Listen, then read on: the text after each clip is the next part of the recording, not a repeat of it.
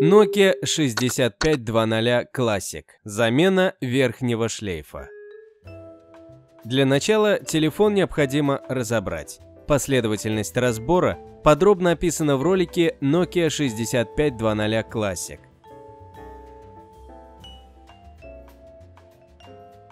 С помощью отвертки снимаем верхний фиксатор.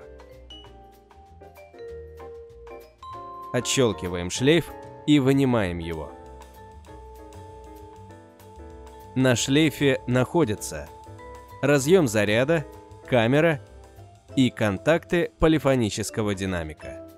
Приподнимаем верхний фиксатор и аккуратно вставляем новый шлейф. Затем защелкиваем разъем и опускаем заглушку. Все, верхний шлейф заменен.